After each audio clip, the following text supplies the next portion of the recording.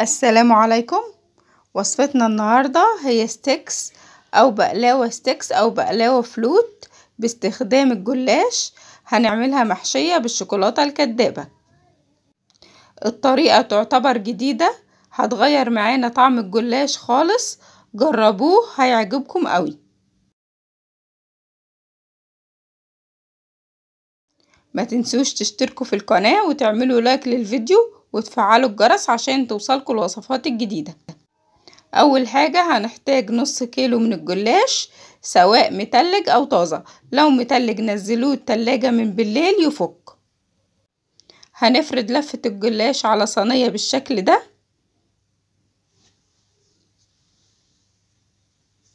بعد كده هاخد ورقتين من أوراق الجلاش دول ورقتين على بعض وهدهنهم بالزبدة السايحة أو بالسمنة السايحة كده. دهنة خفيفة بالفرشة.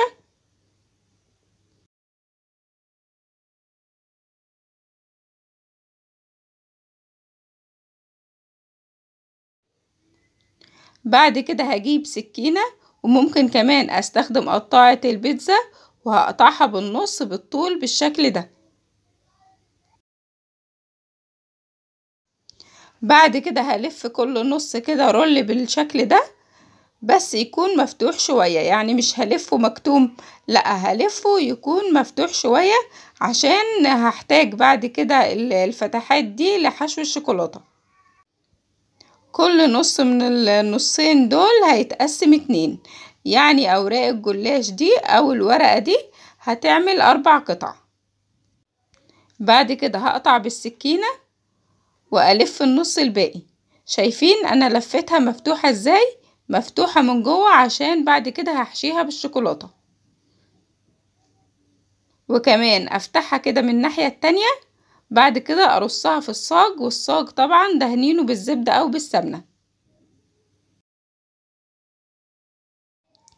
وده النص التاني من ورقة الجلاش.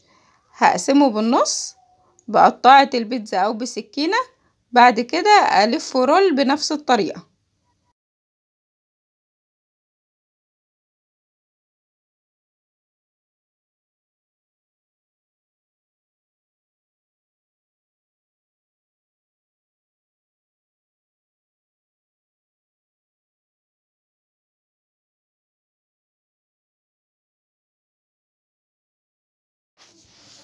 أنا كده خلصت كل الكمية ورصيتهم في الصاج.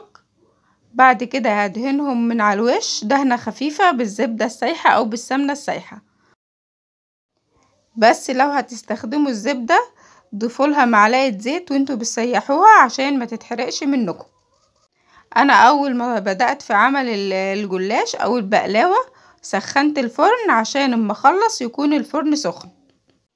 بعد كده هندخل الجلاش في الفرن ودرجة الحرارة ميتين وأربعين أو ميتين وستين هدخله لحد ما يحمر من تحت. بعد كده هشغل الشواية عشان يحمر من الوش. يعني ملوش وقت محدد. هعمل الشربات. هحتاج نص كوباية سكر وربع كوباية مية وكمان هعصر عليهم نص ليمونة. أنا مش عايزة شربات كتير أو عسل كتير لأن أنا هحشيه بالشوكولاتة فهو كده كده هيكون مسكر. فيادوب الشربات ده هرشه من فوق رشة خفيفة. بعد كده هقلب السكر مع المية مع الليمون كويس جدا وأحطهم على النار والنار تكون متوسطة. وأول ما النار تغلي هوطيها شوية وهسيبها سبع دقايق بالظبط تغلي. وشربات الجلاش بيكون تقيل.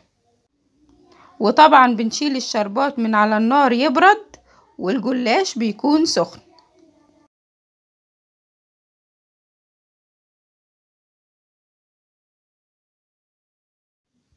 كده خلاص الشربات شلته من على النار هسيبه يبرد خالص قبل ما أضيفه على الجلاش.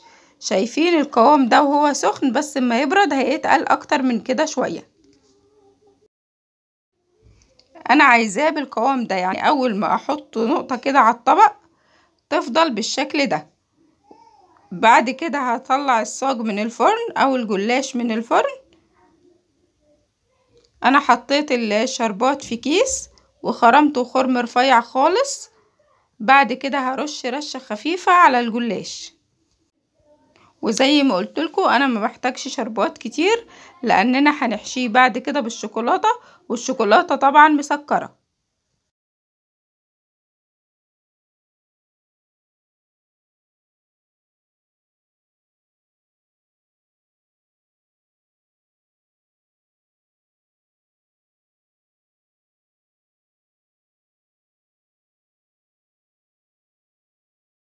دلوقتي هعمل حشوة الشوكولاتة الكدابة هحتاج كوباية إلا ربع حليب أو لبن واللبن يكون ساقع وكوباية كاملة من الزيت وهضيف عليها أربع معالق كبار سكر وتلات معالق كبار كاكاو خام.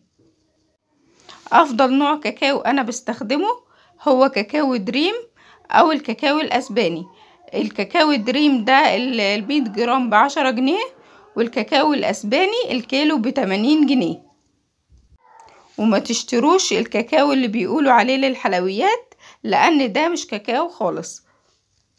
بعد كده هخلطهم بالخلاط كويس جدا. طبعا أنا استخدمت ال hand blender ممكن أنتوا تستخدموا الخلاط العادي. هفضل أضرب فيهم لحد ما قوام الشوكولاتة يتقل ويكون بالشكل ده. ولو طلع معاكم خفيف شوية ممكن تزودوا ربع كوباية زيت. دلوقتي هحشي الجلاش بالشوكولاتة الكدابة هحتاج سرنجة وطبعا السرنجة نضيفة يعني أول استخدام وهملاها بالشوكولاتة بالشكل ده. بعد كده هعبي أطراف الجلاش من ناحيتين بالشوكولاتة. وطبعا ما ينفعش نملاها كلها أول حاجة هي بتبقى مقفولة أساسا من من النص تاني حاجة هتبقى تقيلة جدا وإحنا بناكلها. وهكذا لحد ما تخلصوا كل الكمية.